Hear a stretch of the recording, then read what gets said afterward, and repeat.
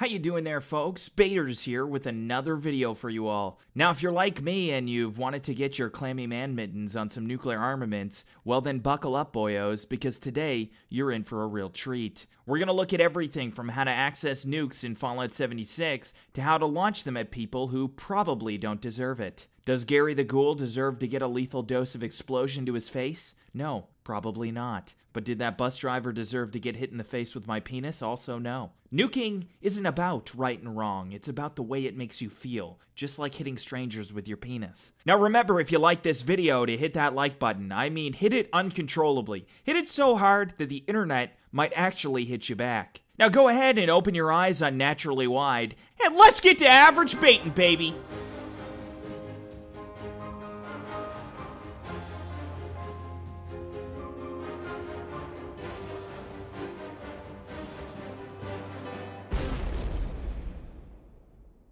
Now, the first thing you want to remember when you're about to become a nuclear dictator is that no squabble is too petty to blow up someone's whole situation. Once you've got your dangerous socks on and you're ready to get your nuke on, you'll first have to join the Enclave. Because the Enclave are the only group evil enough to fire off more nukes in a nuclear apocalypse. Remember that shit that blew up the whole world? Yeah, I'm thinking we need more of that. Great idea, Kyle. Great idea. Go ahead and get my baby hitting gloves and uh, we'll turn this shit up a notch. yes. God, we're evil.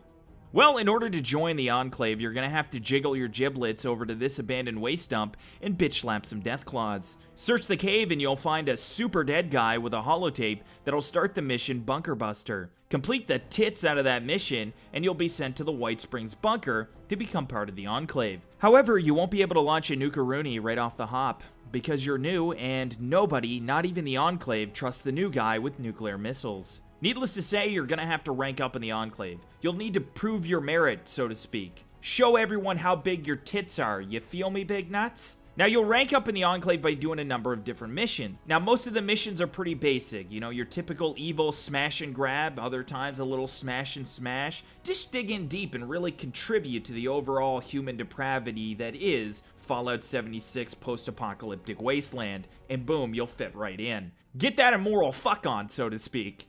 Now, once you've finished a few missions, then Modus, the robot with the face of a pervert, will give you a chance to become an Enclave General. Because he's a robot, and he just loves giving out promotions like their teenage tears at a boy band concert. Because he's lonely, and he doesn't have shit else to do. Now, Modi here's got some prerequisites to becoming a general, though. Don't you, Modi? Don't mind if I call you Modi, do you, bud? Of course you don't, because you're fucking imaginary.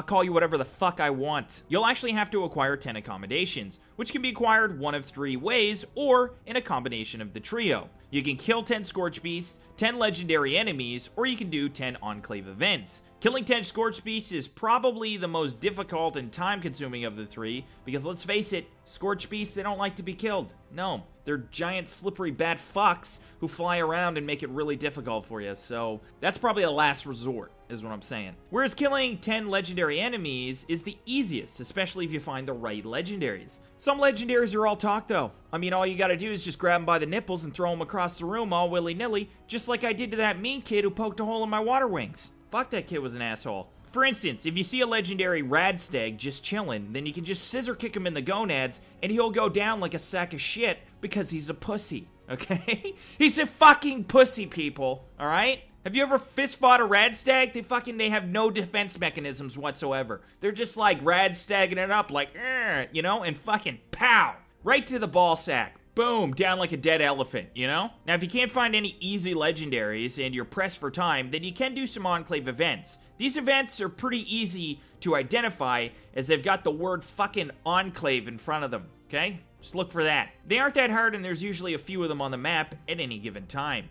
Now, once you're done all the accommodations, you'll get the final rank of General. But once you're a General, it's not all about peace treaties and grabbing pussies, though. No, no, no, no. In order to launch a nuke, you'll still have to work for it. The first thing you're going to have to do is collect a nuclear keycard. This card is used to grant you access to the nuclear terminal in the nuclear launch silo.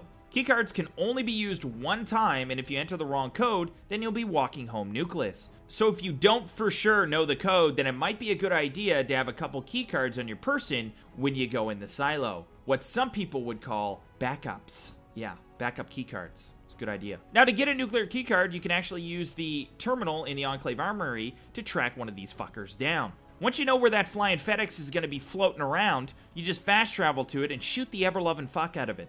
Once it's destroyed, it will drop a crate that will require at least one bobby pin to open. Once you're inside, you'll find some supplies like water, some purple stuff, and ooh, some Sunny D. Oh, and uh, also the nuclear keycard, obviously, right? Why else would you be there? Now, once you have the keycard on your person, you'll still have to find out the code for any one of the three launch silos. There's Alpha, Bravo, and Charlie, each requiring a different code each week to launch a nuke from that specific silo. First thing you're going to want to do is track down the 8 encrypted numbers from one of the silos. To do this, you can again use the Enclave terminal to track down the codes on that specific silo. Go to where X marks the spot and you'll see a ghoul who clearly got separated from his group and he's just wandering around all lonely and shit wearing a nerdy as fuck backpack. Now just beat that loner ghoul to death and on his corpse you'll find one of eight encrypted pieces. Rinse and repeat for the remaining seven pieces. Now once you've got all eight pieces, you're still going to have to decrypt the eight numbers to know their order in the code sequence. Now this is where shit gets really kerfuffled and confusing. I mean, it just gets really fucked up. Okay? So buckle up, alright? I'm, tr- I'm gonna try not to lose you here. I mean, I tried to explain this decryption process to a little sweet old lady who was standing behind me at the DMV, and uh, she lost consciousness and started convulsing. I don't think it was related, though. Although it might have been. It might have been. She just kept screaming, It doesn't make sense! I don't know if it's probably not related. It's probably not related. Now, the easiest way to explain the decryption process is to think of it in three parts. The first part, you have the eight code pieces with the eight corresponding letters. In this case, the eight letters and numbers are RAC, FJ, NTW, and 66356023 respectively. Obviously, these are the numbers that you get from the ghouls with the little backpacks. Okay, you with me so far? Alright, awesome. The second thing you're gonna need is a decryption word which is hinted at in the silo prompt in the Enclave Armory, which is this thingy, okay? There's three boards on the wall that slowly reveal pieces of the code word over the course of the week. Once you have the code word, you're good to go, okay? The key word is a word that's used to decrypt the code, but does not consist, usually, of the letters in the code pieces. It might have some of the letters, but it's not made up of the code piece letters. Does that make sense? You with me? All right, here we go. My hands are shaking.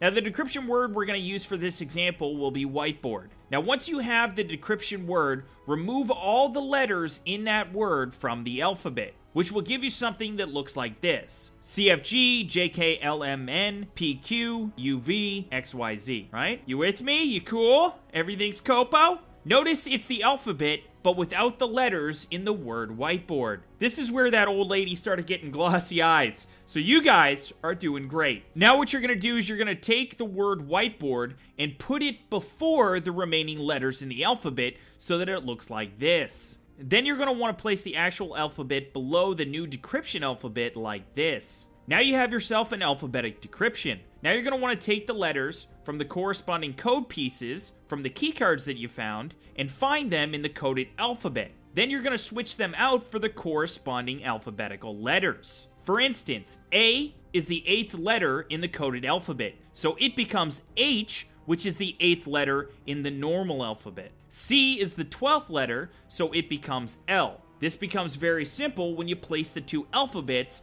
vertically on top of one another, as you can see. Once the letters are switched out, you're going to have yourself a new set of letters. These new letters are still scrambled, just in case you thought this shit was getting too easy, you'll still have to unscramble the letters to make a word to find the order of the numbers. Now sometimes there will be multiple words as an option, which is what we'd call a shitty situation. In this example though, the word when it's descrambled is halidomes. Halidomes will then become the order of the numbers. So all you need to do to get the correct code now is change back the letters with the corresponding coded numbers. Now if H is A and A is 6, then H becomes 6. If A is W and W is 3, then A becomes 3. This makes the actual decoded numbers 633-62650. If that made your brain explode, don't worry, you're not alone. It's harder to explain than it is to do, trust me. All you gotta do is look down here at this and you'll see what I mean. As you can see, the old letters correspond to the new decrypted letters, and all you do is switch them out for their numbers. So again, if H is A and A is 6, then H becomes 6. If A is W and W is 3, then A becomes 3. Does that make sense? With me so far? Alright, awesome. So that's how we get the order. So we're actually going to get the order from Halidomes when it's decrypted back into the old numbers that were associated with the keycards originally. Wow. All right. I got a little system here that's going to make it real easy for you guys. Just remember, keyword, new alphabet, decode, descramble, recode. Boom. Simple as that, okay? Which still sounds sort of confusing as tits. But that's as simple as I can make it for you, guys and girls, okay? Simple as I can make it for you. Now, I found this example on Reddit by a poster named Sock Puppet, and I'm going to put a link in the description in case you want to check it out yourselves. I think Sock Puppet did a really good job breaking it all down and keeping it very simple, so definitely check that out. Also, there's actually a subreddit that posts the codes each and every week for each one of the silos, just in case you want to take a little bit of a shortcut on the decryption process. Could be a good idea to just check it out. There's also websites dedicated to giving you the new codes every single week for each one of the silos as well, so you can also check out one of those websites. For me though, I just like I just relish the challenge, you know? I just relish the challenge of breaking it myself. I'm just kidding. I always use Reddit or, or someone tells me the codes. I've never broken this code myself. Hopefully that wasn't too confusing. Let's move on to the next thing. Now, once you've decrypted the code and you've got the keycard and you know the location of the silo, the next thing you'll need to do is actually get the terminal to launch the fucking nuke, which can be easier said than done. Once you get to the silo, it's going to be protected by the world's most annoying robots, whose only mission is to stop you from having a good nuke time okay? First things first, you're gonna have to scan your body and find a DNA passcard, okay? Once you're scanned, you're gonna go to the terminal to register the card. Once the card is registered, you'll be able to pass through the first set of laser beams, all the while beating the shit out of anything robotic. Next, you'll have to repair the power by finding and repairing all the broken valves. Make sure to check all the corners as some of these little bitches are tucked away all secretive like.